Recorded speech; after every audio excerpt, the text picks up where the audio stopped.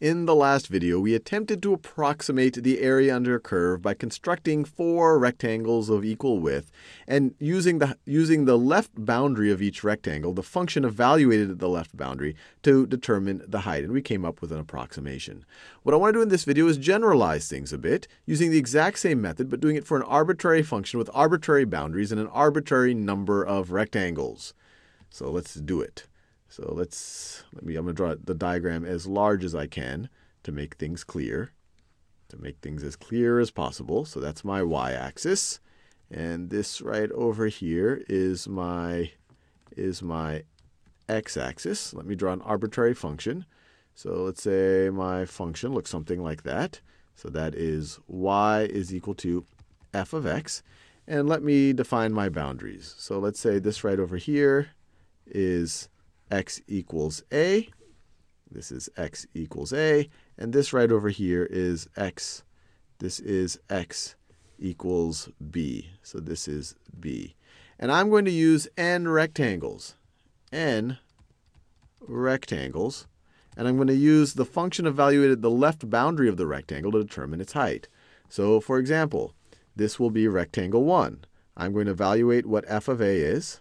I'm going to evaluate what f of a is.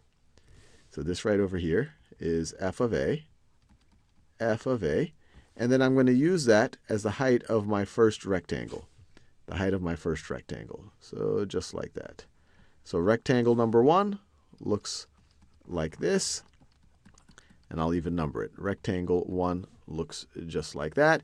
And just to have a convention here, because I'm going to want to label each of the boundaries of the left bound, uh, uh, each each of the uh, each of the x values, uh, the left boundary. So we'll say a is equal to x naught. a is equal to x naught. So we could also call this point right over here x naught, that that x value. And then we go to the next rectangle, and we could call this one right over here, this x value, we'll call it x1. It's the left boundary of the next rectangle. If we evaluate f of x1, we get this value right over here. This right over here is f of x1, f of x1, so it tells us our height. And we want an equal width to the previous one. And we'll think about what the width is going to be in a second.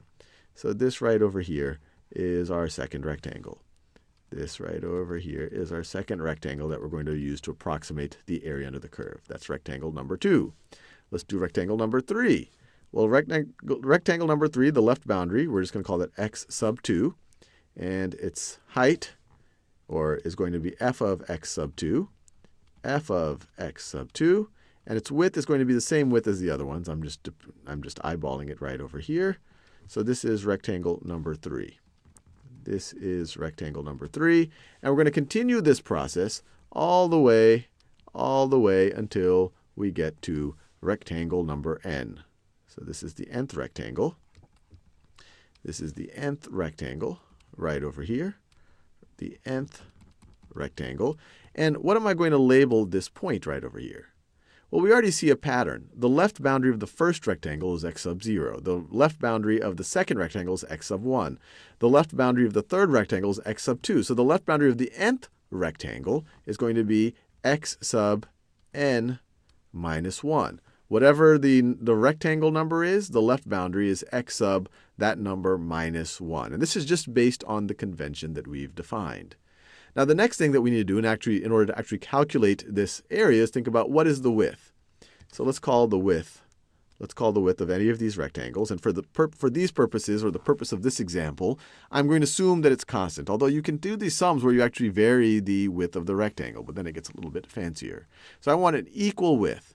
So I want delta x to be equal with. And to think about what that has to be, we just have to think, what's the total width that we're covering? Well, the total distance here is going to be b minus a, b minus a, and we're just going to divide by the number of rectangles that we want, the number of sections that we want. So we want to divide by n.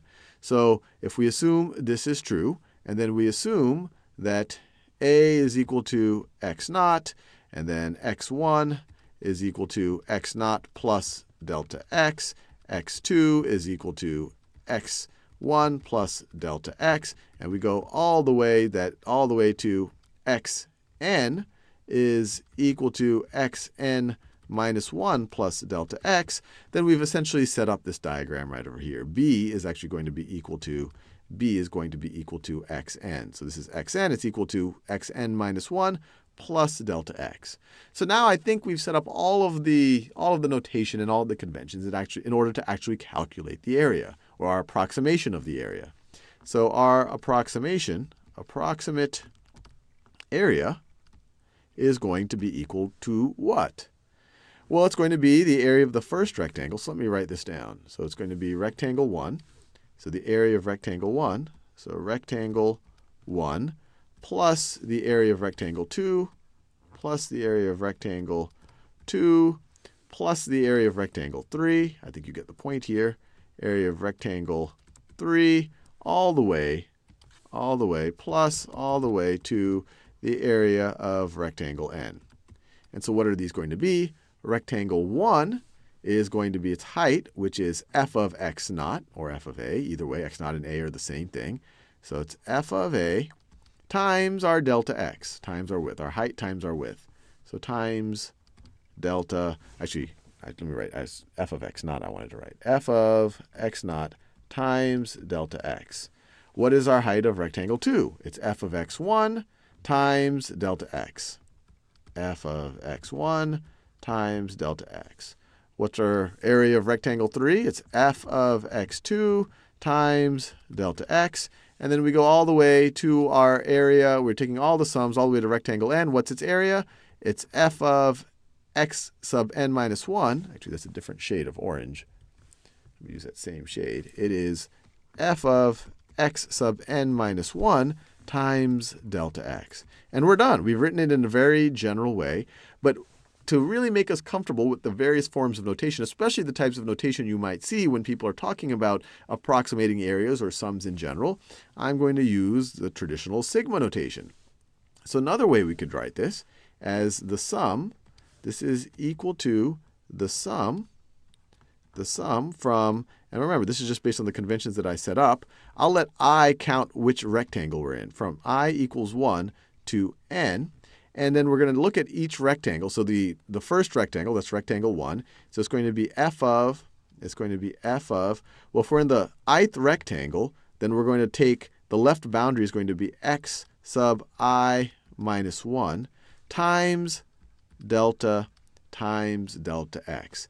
And so here, right over here, is a general way of considering, of, th of thinking about approximating the area under a curve using rectangles where the, the height of the rectangles are defined by the left boundary.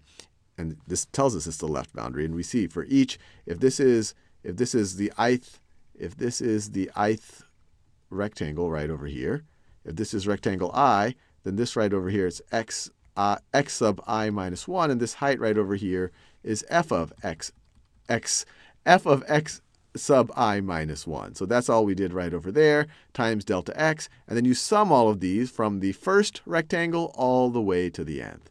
So hopefully that makes you a little bit more comfortable with this notation. We're not doing anything different than we did in this first video, which was hopefully fairly straightforward for you. We have just generalized it using a little bit more mathy notation.